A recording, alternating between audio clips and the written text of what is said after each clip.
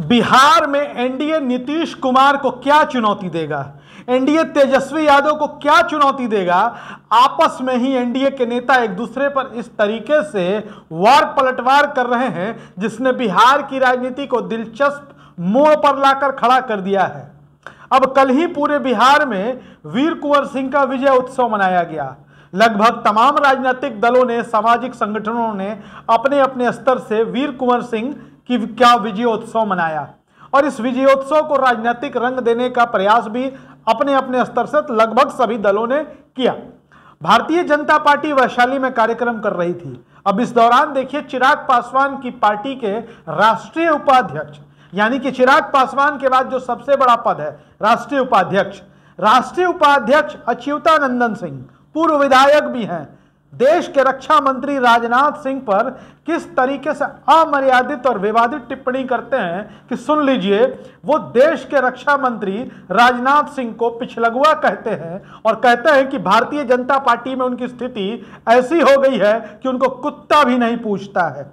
और यह बात सबसे आश्चर्यजनक रही कि लोजपा के राष्ट्रीय अध्यक्ष सह पूर्व विधायक ने यह बात बीजेपी के मंच से ही कह डाला। बीजेपी के मंच पर खड़े होकर ही उन्होंने राजनाथ सिंह की बुराई कर डाली। अब एक तरफ़ देखिए कि बिहार में भारतीय जनता पार्टी चिराग पासवान के साथ मिलकर नीतीश कुमार को सत्ता से उखाड़ फेंकना चाहती है।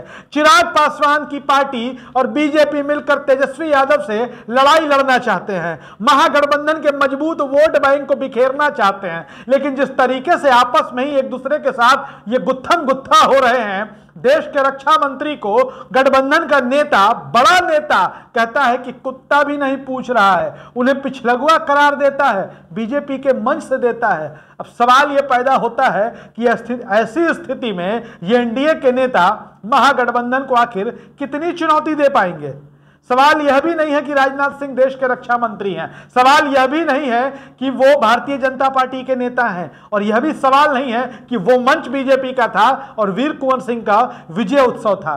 दरअसल राजनाथ सिंह देश के सम्मानित नेताओं में से एक हैं। राजनाथ सिंह नेता भले ही बीजेपी के हैं, लेकिन उनका सम्मान हर दल के लोग करते हैं, हर जाति, धर्म और समुदाय के लोग करते हैं। राजनाथ सिंह का बड़ा संसदीय जीवन रहा है। वो बीजेपी के राष्ट्रीय अध्यक्ष भी रहे हैं, वो उत्तर प्रदेश के मुख्यमंत्री भी रहे हैं, वो देश के गृह मंत्री भी रहे हैं। और चिराग पासवान के उपाध्यक्ष, यानी कि दूसरा नंबर, लोक जनशक्ति पार्टी रामविलास, जिसके अध्यक्ष हैं चिराग पासवान और उपाध्यक्ष है अच्युतानंदन सिंह, पूर्व विधायक हैं। भारतीय जनता पार्टी में भी रहे हैं। कार्यक्रम बीजेपी की ओर से आयोजित था और चूँकि बीजेपी से संबंध था, पूर्व विधायक अच्युतानंदन सिंह का, उस कार्यक्रम में वो जाते हैं और वो राजनाथ सिंह पर टिप्पणी कर देते हैं। ऐसी स्थिति में यह सवाल अब खड़ा होने लगा है कि कैसे एनडीए महागठबंधन को चुनौती देगा। इसके साथ ही आपको बता दे कि अच्युतानंदन सिंह ने उस मंच से क्या कहा। उन्होंने कहा कि लोकतंत्र में छत्र बनना चाहिए।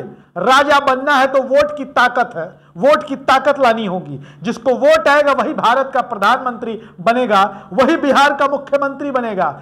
कहते कहते अच्युतानंदन सिंह ने इसी लाइन में कह दिया कि अब देखिए, पिछलगुआ बनने के लिए राजनाथ सिंह को, बीजेपी में तो इन्हें कुत्ता भी नहीं पूछ रहा है। अच्युतानंदन सिंह इतना बोलते हैं कि वहाँ मौजूद भाजपाई भड़क जाते हैं और उनसे माइक छीन लेते हैं। इसके बाद विवाद, वाद तकरार का दौर शुरू हो जाता है और इस तरीके से एक दूसरे को, इतने बड़े नेता को कुत्ता कुत्ता भी नहीं पूछ रहा है, ऐसा कहकर क्या बिहार में नीतीश कुमार की सत्ता को ये लोग चुनौती दे पाएँगे।